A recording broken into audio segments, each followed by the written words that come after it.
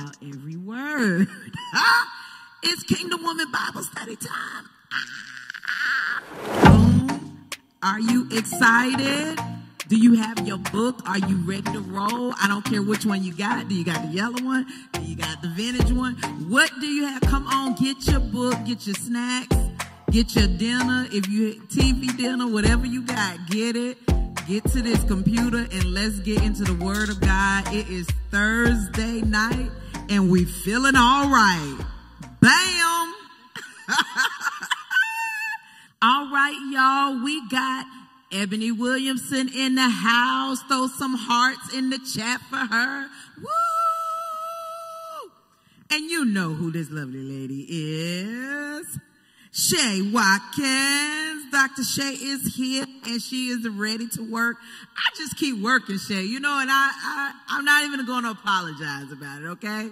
I'm not because we love her and we want to hear more and more of what she has to say because it's always juicy. And so I just thought these two ladies would be a great pair to come and help me do day seven, eight, nine. But if we don't get to all the days, it's cool. We, at least we know we're definitely to hit day seven because day seven was juicy. Okay.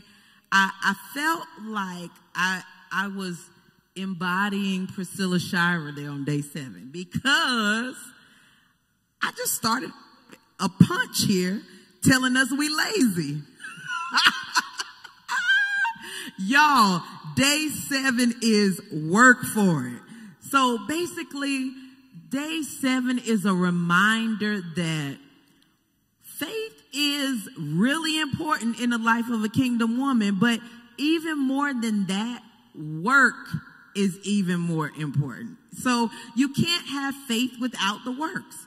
The Bible says that faith without works is dead. So we can have all the faith we want and all the hope we want and just believing that God can do A, B, C, D, E. But we gotta put work into it as well. And so no better women to talk about work and being productive than these two. Cause listen, these are two educational gurus over here. Teacher on this side, doctor on this side. And I know they couldn't have done it without being workers, without being women who have made up their mind that they're going to put in the work that's needed to get their goals accomplished. So here's the first question. Shay, I'm, I'm going to ask you this because I feel like, I feel like you're like the productive kind of chick. It's, it's like, you know, and Shay, I watch your Instagram stories almost like I'm watching a movie. Okay, it's like, what Shay got going on today? What? Where is she today? I mean, what? Let let me let me just. Always doing something. You're always doing something. Okay, so since the pandemic, and I think we've been in the pandemic like 13 weeks now. Since the pandemic, how productive have you been on a scale of one to five? I'm always scaling stuff on one to five. God, what you think? On a scale of one to five, I'm going to say I've been about a four. Really? Yes. That's great though, Shay. It is. Okay. And so um, I think I talked about this before. But Okay. The pandemic and having, you know, these stay at home orders really gave me an opportunity to not be so busy. Right. And so um, I was really then able to be productive. Right. And so I've talked Right. about before just how like I felt like I was always busy, but I wasn't ever really getting anything done. Right. And so now that I had to like stay home, I was able to get into a routine that was free from distraction and I was able to work on some of those more pressing and vital things instead of getting, you know, distracted by the things that were being thrown my way. Right. So you think you think that you know because for some people I think that the pandemic has caused them to be less productive. it's like we've gotten into this slump of no work, no you know everything's closed. I'm just gonna sit here in in, in my drawers and just. Just watch TV. Yeah, I got my nails done, nothing. I'm just gonna just do whatever I want to do. Um, it, so it's had a reverse effect on some people, but um, for me, I can agree with you. I've been more productive than ever. Mm. I feel like I've been overly productive, like just doing too much, just finding stuff to do yeah. where I need to sit down somewhere and just sit down. But Ebony, how you feel? Do you feel like pandemic has caused you, is your level of produ- productivity has gone up or are you kind of like, oh God, I'm a little lazy now?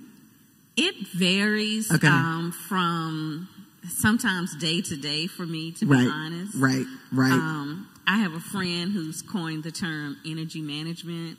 So hmm. I, I love ladies write that down and give us the definition because this is juicy. I like this. Energy management. Okay. When you're managing your energy and you're determining if the task, if it's important or if it's urgent.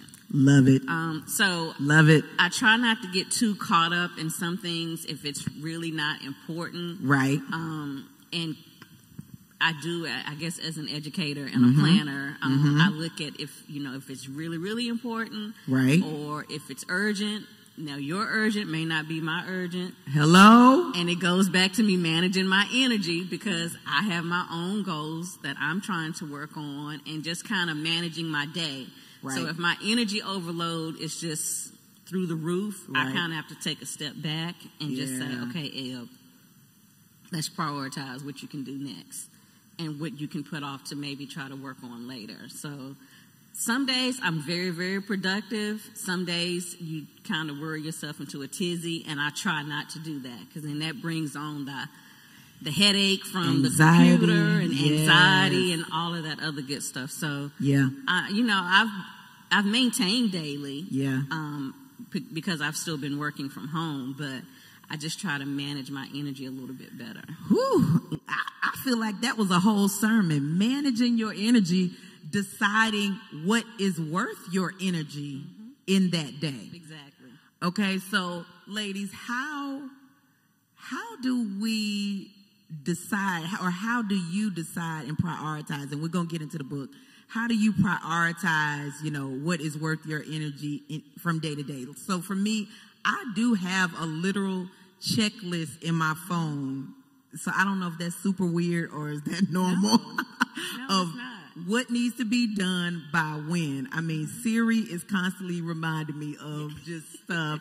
I mean, she told me today, you need to go to the grocery store and get toothpaste, paper plates, forks, spoons, yes. and two black shirts for Judah and Jordan because they have decided now that they want to wear black or red only. Please, somebody just pray for me. And when you think about me, you walk by Walmart, by the little children's section, just get all the black shirts they got, okay? So, so what, so what's your tool to help you, you know, manage your energy?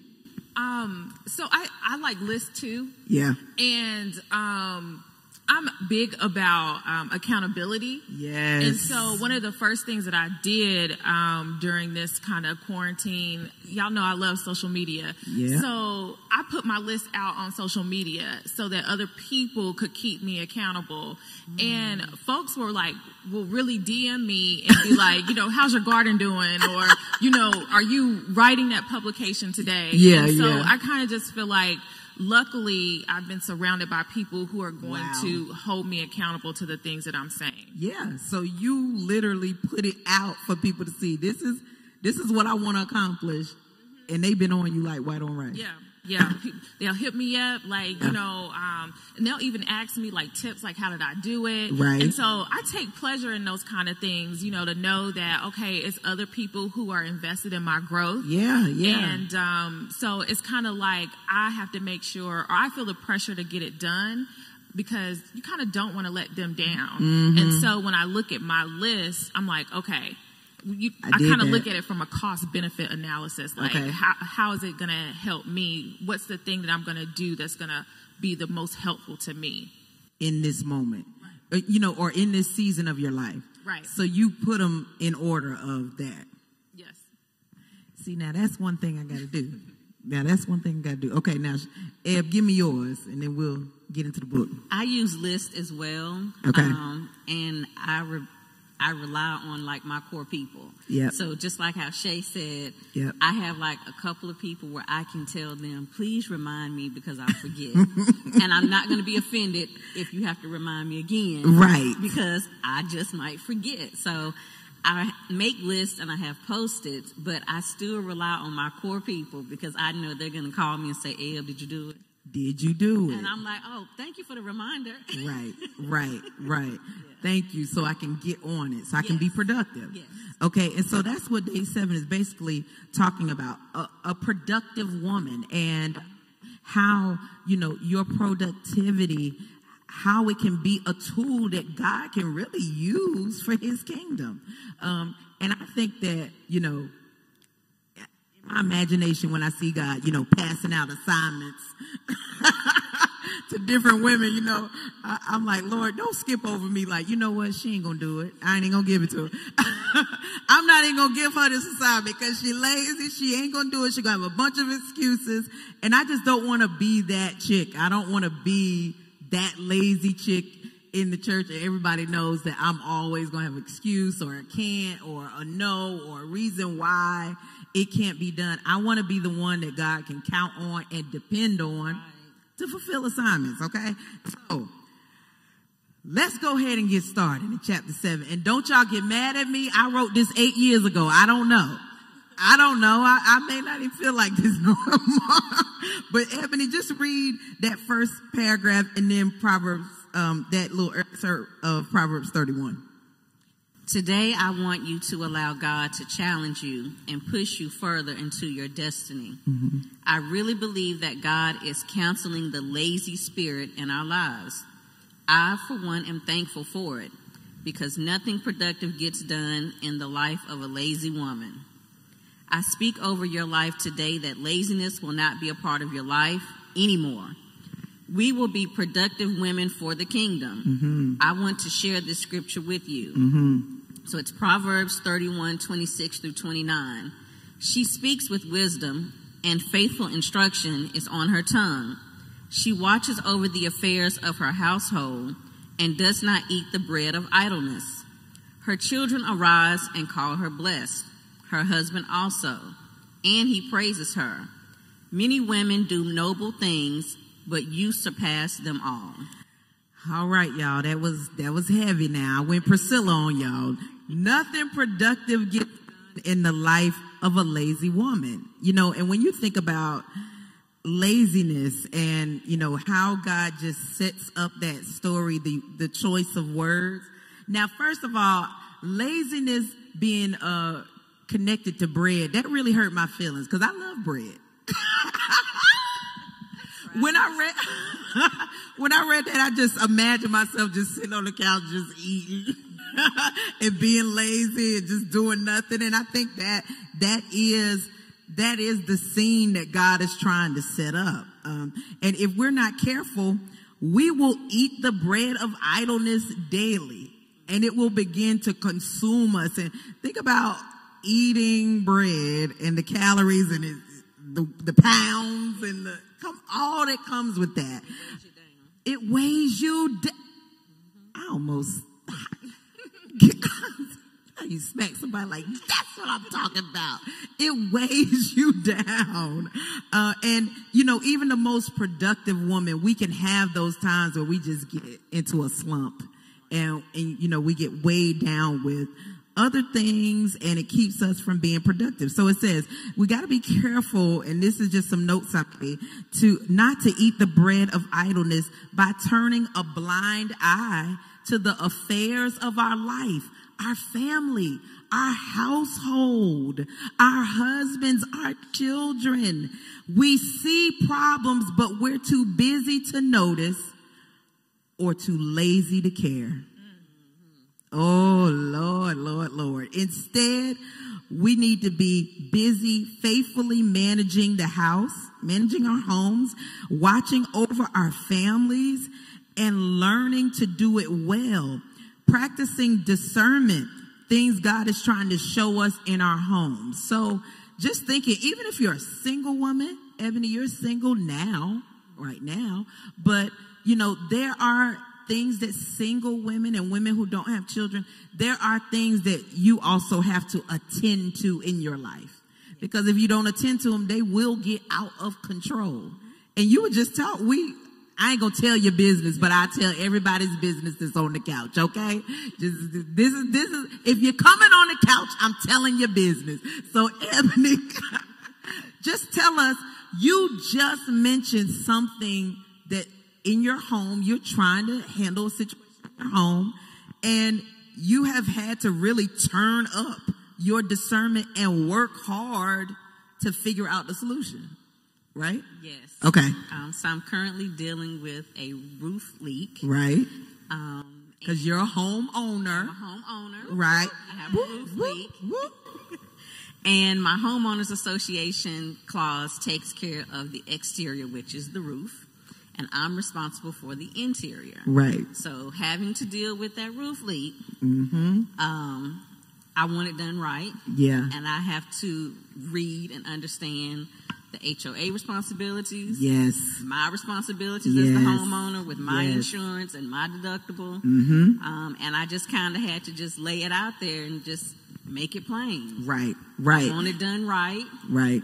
And um, those are your responsibilities. So if I take care of my part, you take Right. care of yours. And you got, I mean, they gave you no after no after no, but you have had to research and be productive in.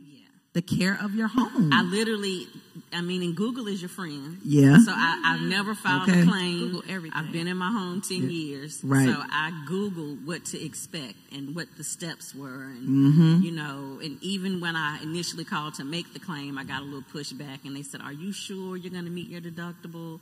You know, those type of things. So Yeah. insurance is a business. Yes. But I want those that are in that business to take care of their duties. Right. Yeah.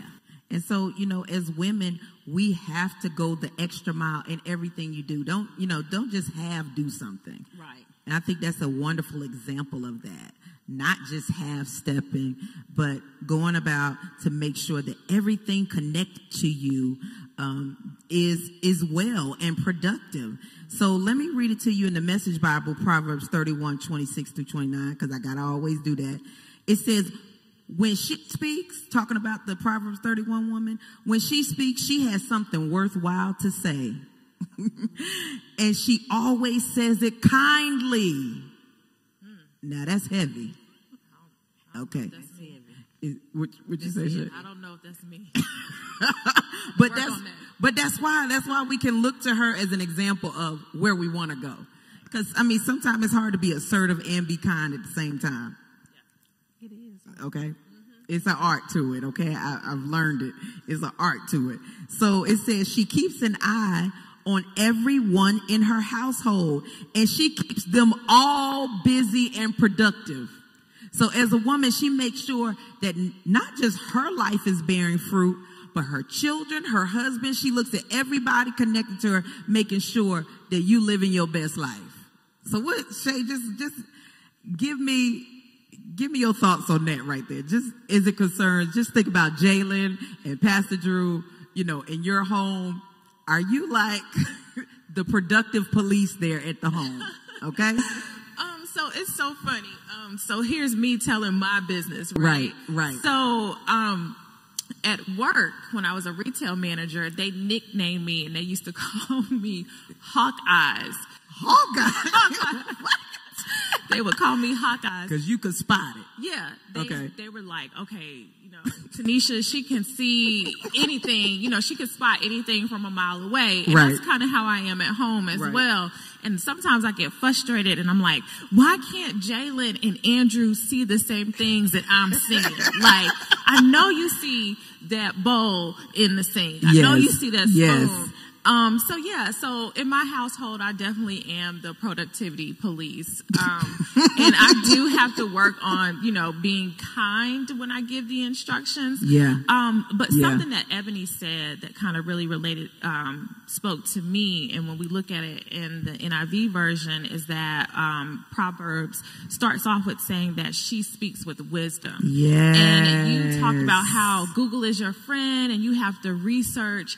And I think part of the wisdom of being able to guide the people in your home mm-hmm. is to know mm-hmm. where the household is going.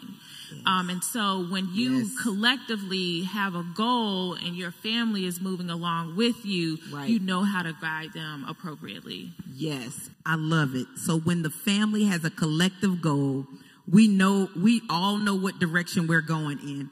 We can move in that direction, just like Habakkuk. Write the vision. Make it plain on tablets so those who read it can run. So this is a spur of the moment homework I'm going to give okay? Because I really feel like we should do this.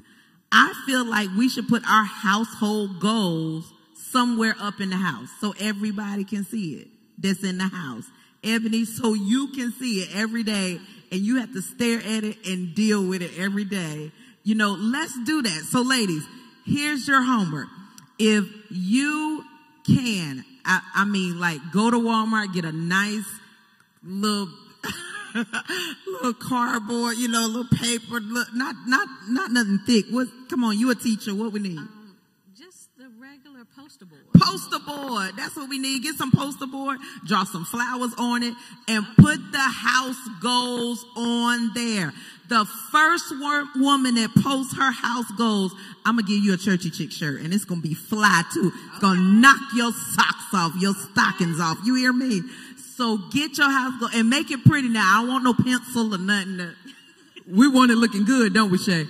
We, the first lady to put your house goals up on, um, you posted on social media is coming to your house. I might hand deliver it with my mask on. Okay. So that's it.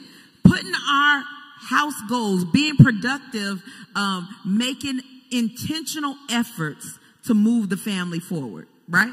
to move our lives forward. So here's, here's what else it says. So she, she keeps a hawk eye. She got the hawk eye, okay, on everybody in the house. She keeps them busy and productive. But then it says her children respect and bless her. Her husband joins in with words of praise. Many women have done wonderful things, but you outclass them all. Charm is misleading and beauty soon fades, but the woman to be admired and praised, here's where I want to be, is the woman who lives in the fear of God. So, you know, allowing yourself not to be idle is because every day you are living in a reverence for God. It's not just a Sunday to Sunday thing. It's not just a Thursday night thing. It's an everyday thing where you consider God in every move you make. Does that sound does that sound tough and hard? I mean, that's that's doable, right? That's doable. I mean, that's then you're convicted because you're right. like, I want to please God. Yes. So I want to make sure that I follow my vision. That's right. Yeah. And, and and we want to make sure we follow the vision. We want to make sure that you know that others are blessed by the vision we have for our life. Right. But and just thinking about that is thinking about just simple things like your degree. You know, that's something you're not just using as a personal goal, but that's something that's blessing other people. Yeah. yeah. What you have, the, the education you have gained is blessing all of our lives. So your goal should not just bless you, but it should bless everybody connected to you. Yeah. yeah. Amen. Okay. I'm with, okay, Shay got the new book. So Shay, you're going to go to the next page, which is page 50 for you. And just read us that last um, paragraph right there with that in mind. With that in mind, I want you to make today your work for it day mm-hmm. because nothing worth having in life is going to just fall in your lap. It takes hard work and strong faith to be a Proverbs 31 woman, to be an extraordinary woman. Are you satisfied with being ordinary or do you want to be extraordinary? The Bible says in Ephesians 3 and 20, now to him who is able to do immeasurably more than all I ask for or imagine, according to his power that is at work within me. You are destined to do great things, but it's going to take work. If I hit you, I didn't mean to miss you. If the Lord hit you, he didn't mean to miss you. You are destined to do great things. Before you were put in your mother's womb, you were destined to do great things, but it's always going to take some type of work. So we're going to jump over and look, don't forget your homework, but we're going to jump over to day eight. Will not quit because that's it. Those are going together hand in hand like a puzzle piece. And then we're going to send you home. Okay. So no matter which book you have, day eight should be, uh, will not quit, right? No, no, no, no. What day is that? Day nine, will not quit. That's where we're going. Day nine, will not quit. Okay? So we're putting those together like puzzle pieces because when you get started on your road to being productive, the first thing the enemy gonna do is tell you there's too much. You ain't gotta do all that. Okay, take a break, and then you take one break and turn into another break, and then before you know it, the goal is off to the side. It got dust on it. So, you know, there's gotta be a relentless drive in you to stay in this vein of productivity. So I'm going to read the first paragraph. Today, I want to encourage your heart and spark something deep within you to endure. Trying to stay focused can be difficult, whether it's trying to stay balanced, trying to reach a goal, trying to finish school, trying to climb the career ladder. What are you trying to do right now? I want you to throw it in the chat. Trying to, uh, or working to progress in ministry, you may know the feeling just when you are close to reaching that goal. Here it is. A storm, a distraction, or a roadblock comes and makes it hard to keep pressing. Okay, so ladies, just just give me, just think back over your life. You know, we tell it all on the couch of of of a time that you have really had to push through some major roadblocks or storms to get a goal accomplished?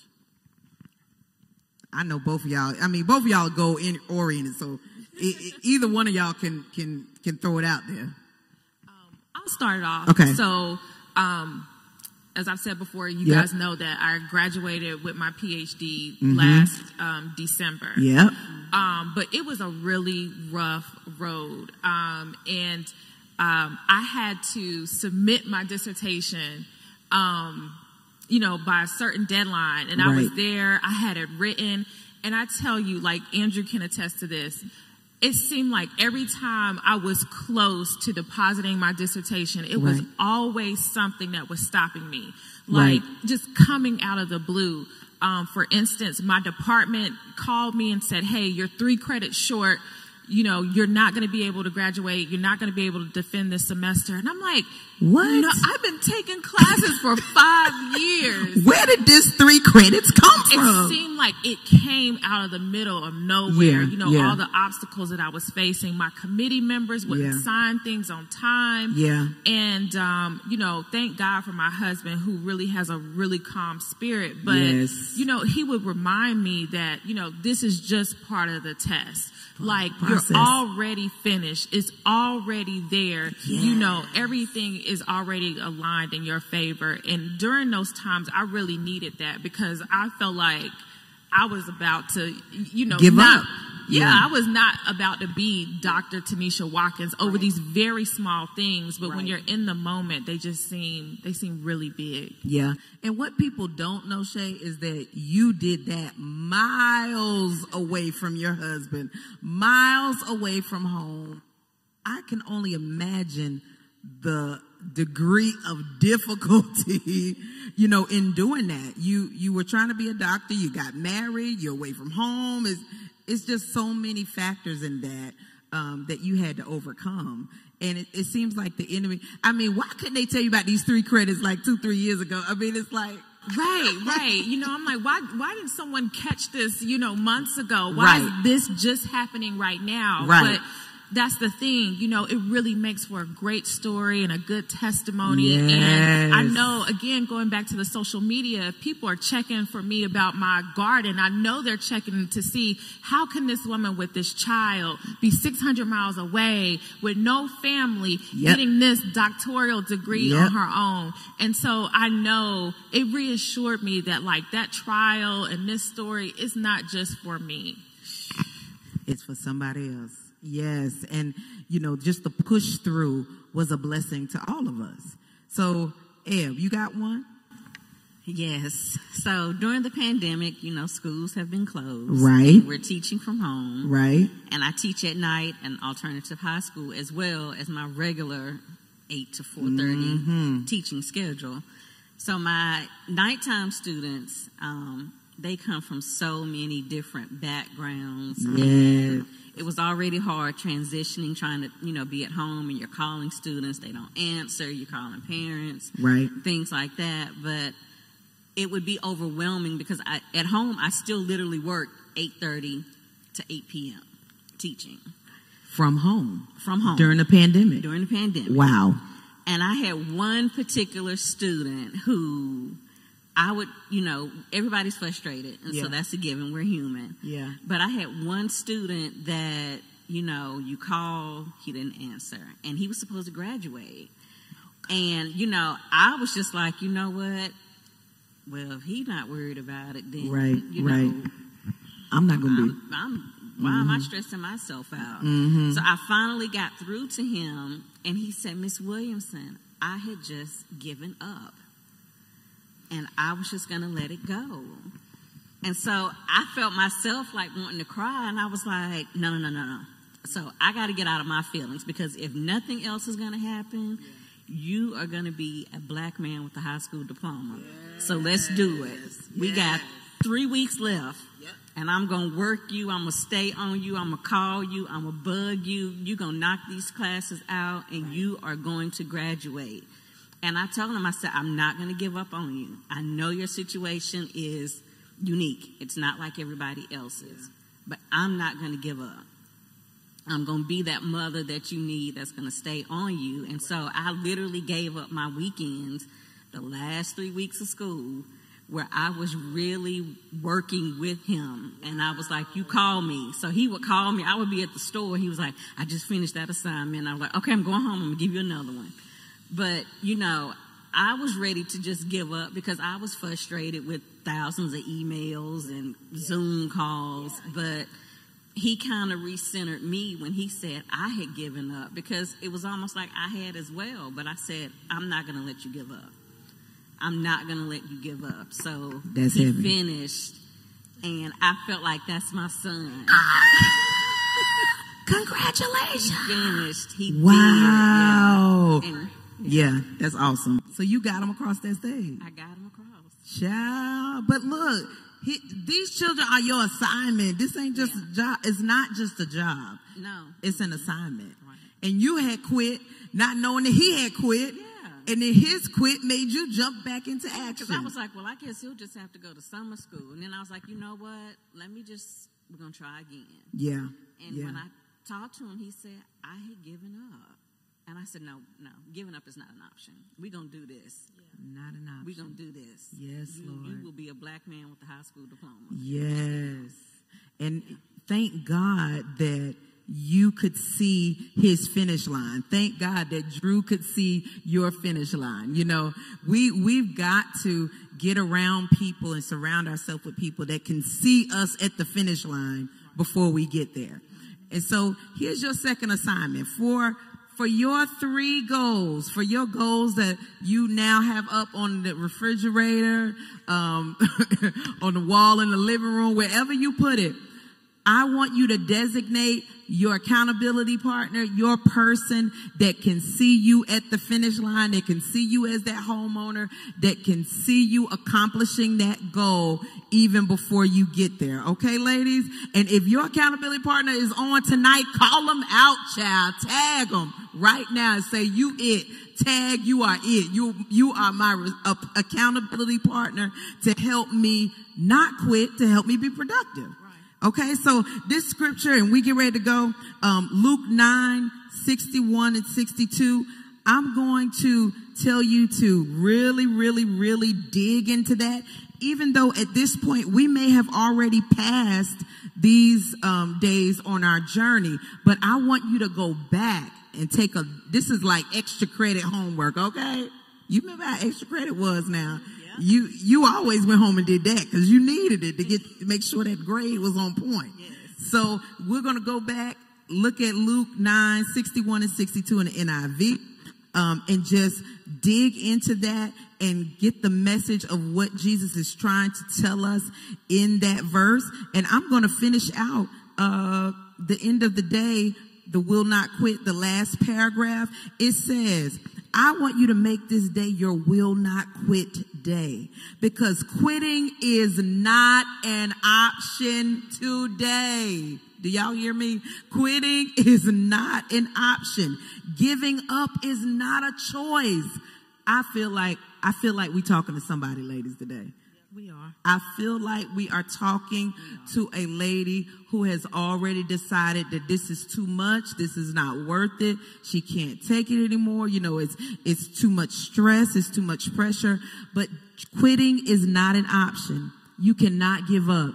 If you need somebody to be in this process with you, then pull on one of your sisters that is on the chat tonight.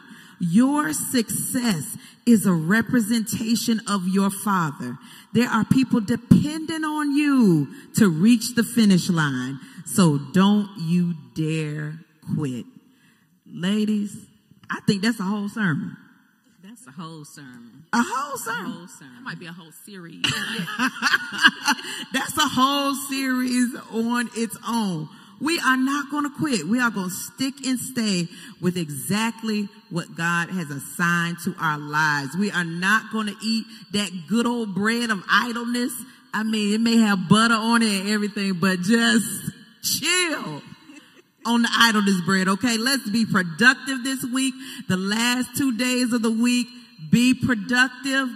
Find in your heart to do those things that you thought were too hard and impossible. Dig deep. Get it done. Okay. So we're going to close out with, um, the closet prayer for the will not quit day. And Eb, I'm going to let you just read a little bit of that closet prayer. If you'll read the first page, I'll read the second page. I'll close out the second page of the closet prayer and we'll be out. Lord, I come to you today as your daughter. I give you glory for who you are, for your strength, for your might and your power, your sovereignty. Thank mm-hmm. you. Mm-hmm. Yes, for your sovereignty, say thank you today. Mm-hmm. Father, I release to you the burdens that I have been carrying, burdens that you never intended for me to carry. I cast all of my cares upon you you all of my worries and all of my fears. Mm-hmm. Father, calm my restless spirits, quiet my anxious heart, bring stillness to every troubling thought with the assurance that you are in control. Lord, help me to let go today of the tight grip I have on things that you want to control in my life. Give me the strength to let you be in control of the direction of my life. I thank you for your promise to sustain me, preserve me, and guard all that I have entrusted to you. Protect my heart and mind with your peace, the peace that surpasses all understanding. Father, may your will be done in my life, even when it is uncomfortable for me. Lord, I declare that your will is what's best for me, and your will is what I will seek. Lord, help me to accept your will and walk therein. When it is difficult, I desire your will. When it is painful, I desire your will. When it's lonely, I desire your will. Lord, when I am hard pressed on every side, thank you that I am not crushed. Mm-hmm. When I am perplexed, thank you that your word says that I am not in despair. When I am persecuted, thank you that I am not abandoned. Even when I am struck down, I praise you that I am not destroyed. I choose to believe that you are my deliverer because you are your mighty right hand. You will drive out every force that has set themselves against, up against me. Lord, I thank you for your promise that you have made to me and you will bless those that bless me and you will curse those that curse me. Father, I thank you that I am blessed in the city and I am blessed in the field, blessed in my going out and blessed in my coming in. Because of that, Lord, I am strengthened today. I will not give up. I will not quit. I will not deter from the path that you have set out for me. I believe that I am well able mm-hmm. to conquer every obstacle, to weather every storm, and to speak to every mountain set before me today. I rebuke the spirit of fear, for I am established in righteousness. Oppression and destruction shall not come near me. I declare that I am more than a conqueror through him who loves me. Lord, when I feel like giving up in the battles of this day, remind me, Lord, of the victory that I have in you. Lord, I pray that your word take life and be in active operation in my life to heal, deliver, and set free, to make me whole wherever I am broken, to build me up wherever I'm torn down, to provide for me wherever I am experiencing lack, to comfort me wherever I am experiencing turmoil. I am an overcomer. In Jesus' name, amen. amen. All right, ladies, we'll see you next time. Don't quit. Don't quit. Bam.